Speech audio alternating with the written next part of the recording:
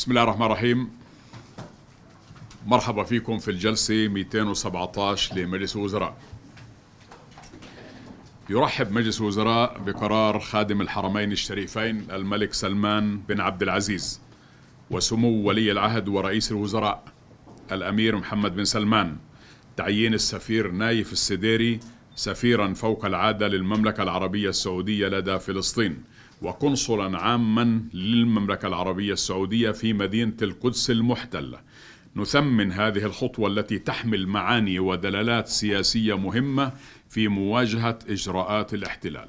ويذكر أن قنصلية المملكة العربية السعودية قد افتتحت في القدس في عام 1947 كما يثني مجلس الوزراء على إعلان الحكومة الأسترالية اعتبار أن الأراضي الفلسطينية محتلة بما فيها القدس الشرقية واعتبار المستوطنات الإسرائيلية غير قانونية غير قانونية حسب القانون الدولي. إن هذا التطور المهم في الموقف الأسترالي منسجم مع القانون الدولي وقرارات الأمم المتحدة ونتطلع إلى اعتراف أستراليا بدولة فلسطين.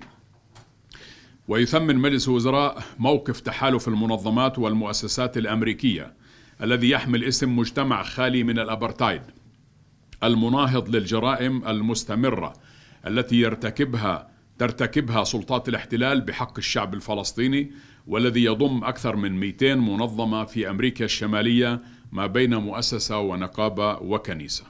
إضافة إلى إطلاق أكثر من 1200 شخصية أكاديمية عالمية عريضة تتحدث عن النظام العنصري الإسرائيلي الذي تتسبب به قوات الاحتلال طويلة الأمد وغير القانونية للأراضي الفلسطينية وذلك دعما للرواية الفلسطينية والموقف الفلسطيني وتثبت وجود نظام فصل عنصري من وجهة نظر أكاديمية وعلمية وتدعم المطالبات بإعادة تفعيل اللجنة الخاصة لمناهضة الفصل العنصري في الأمم المتحدة. يناقش مجلس الوزراء قضايا سياسية وأمنية ومشاريع بنى تحتية وأراضي تخص جامعة نابلس وقانون للشأن السياحي ونظام إدارة المواد الخطرة ومساعدة أطفال التوحد وإحالة مناقصة سد الملاقي في منطقة الفارعة وشكرا.